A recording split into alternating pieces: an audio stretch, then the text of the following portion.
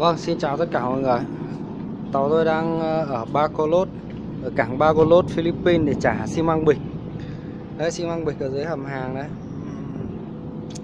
Thì ở Philippines này tôi thấy ờ, nắng nóng lắm. Hôm nay hôm nay mới có ngày 16 tháng 4 Tức là ngày mùng 1 tháng 3 âm lịch. Mà nó nắng nóng.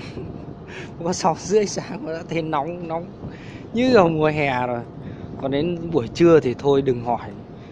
Ở Trung Quốc bây giờ vẫn còn đang khá lạnh tao tôi chạy ở Trung Quốc vẫn còn đang không khí lạnh mưa rét. Và chạy sang đến đây thì trời ơi, ôi, nó nóng nóng như kiểu giữa mùa hè. Bảo sao Philippines là đất nước nhiều bão nhất thế giới, cũng đúng rồi vâng Philippines là một quốc đảo. Ở phía Philippines ờ, có cái rãnh Mariana rãnh rãnh sâu nhất thế giới có độ sâu khoảng 10.000 mét. Thì những cái vùng nước nước đã sâu vậy cộng với lại uh, nắng nóng thế này thì bảo sao mà Philippines nó nhiều bão nhất thế giới cũng đúng thôi. Đấy. Thì tôi nghĩ chắc là chính vì nhiều bão vậy cho nên uh, dân nó mất mát nhiều dân nó quen với cái khổ rồi. Cho nên là uh, người dân, người ta sống rất là thân thiện.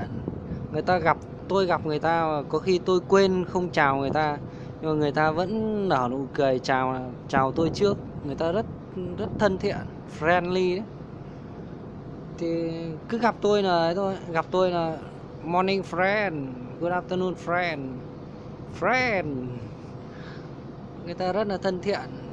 Tôi thấy Philippines là đất nước thân thiện nhất mà tôi từng tôi đi qua cũng ờ, Nga Trung Quốc Philippines Papua New Guinea Solomon uh, Singapore Ấn Độ uh, Iran. Nhưng mà tôi thấy công nhận Philippines vẫn là đất nước thân thiện nhất con người rất thân thiện.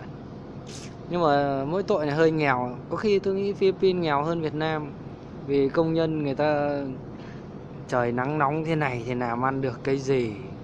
Bảo sao nó chẳng nghèo Philippines thì toàn là đảo thôi đảo với núi.